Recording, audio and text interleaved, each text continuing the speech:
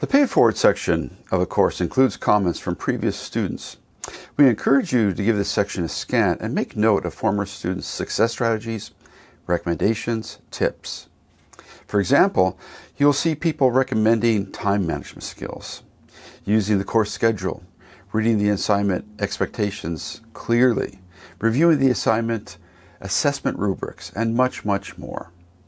We hope that you find these former students' recommendations helpful, and we also hope that you will take the time later in the course to pay it forward yourself and add your comments that will encourage other future students.